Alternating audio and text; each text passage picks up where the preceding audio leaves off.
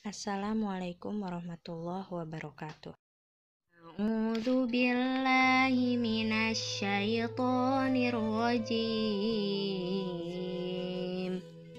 Bismillahirrahmanirrahim. Laqad kana lakum fi rasulillahi uswatun hasanah liman kana yarjullaha akhir wa dzakarallaha katsira. Sadaqallahul azim. Quran surat Al-Ahzab ayat 21. Sungguh telah ada pada diri Rasulullah itu suri tauladan yang baik bagimu, yaitu bagi orang-orang yang mengharap rahmat Allah dan kedatangan hari kiamat dengan banyak mengingat Allah. Rasulullah Shallallahu Alaihi Wasallam merupakan suri tauladan yang sangat baik untuk diteladani bagi seluruh umat Islam.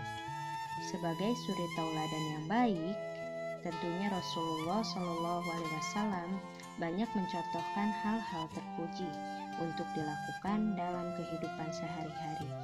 Di antaranya adalah menyantuni. Bagaimana tertuang dalam Quran surat Al-Baqarah ayat 220.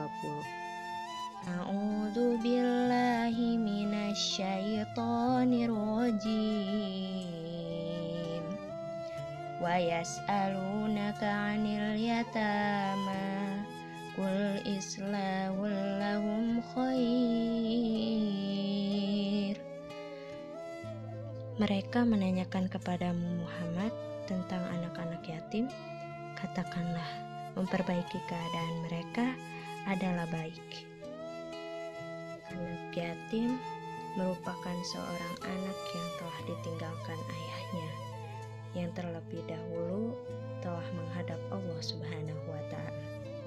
Bayangkan saja, tentunya akan banyak kesedihan bagi seorang anak yatim karena harus kehilangan kasih sayang dari seorang ayah.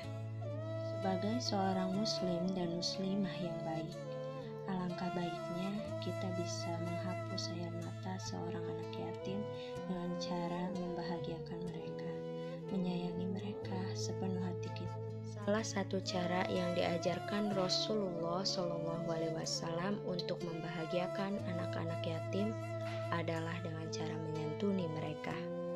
Sebagaimana sabda Rasulullah Shallallahu Alaihi Wasallam yang kemudian diriwayatkan oleh Imam Bukhari yang berbunyi, Ana wa kafilul yatim fil jannah hakadha wa asyara bis sababah wal wusta wa faraza bainahuma syai'a saya dan orang yang memelihara anak yatim dalam surga seperti ini. Lalu Rasulullah mengisyaratkan dengan jari telunjuk dan jari tengahnya serta merenggangkan keduanya. Masya Allah, sungguh indah keutamaan seorang hamba dalam menyantuni anak yatim sehingga bisa bersama dengan Rasulullah di akhirat. Mudah-mudahan termasuk kita semua yang menyaksikan video ini. Amin, amin ya robbal alamin. Oleh karena itu, marilah kita beramai-ramai untuk senantiasa menyayangi dan menyantuni anak yatim. Semoga bermanfaat. Wassalamualaikum warahmatullahi wabarakatuh.